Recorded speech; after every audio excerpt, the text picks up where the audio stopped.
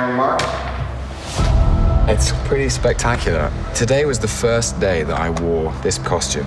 To wear this thing is it just feels enormously powerful. Loki has been in our movies for well over a decade now, and since day one, really won everybody over and became one of our most beloved characters. I am Loki of Asgard, and I am burdened with glorious purpose. Your savior I remember as clear as day the first auditions for Thor. What? What am I?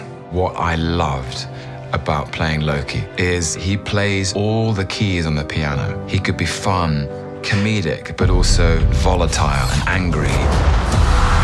Tom Hiddleston is almost wholly responsible for Loki becoming an instant fan favorite. Say my name!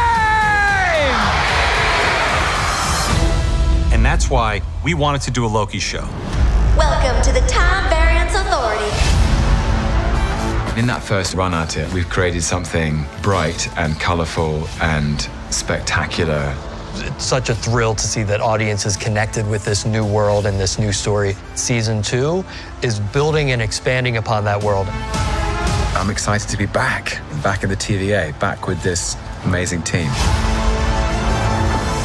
Get to go further and take bigger risks to create this endlessly fascinating box of tricks. And I feel excited and inspired about where we go next. Come on, you're the god of mischief. Always have been.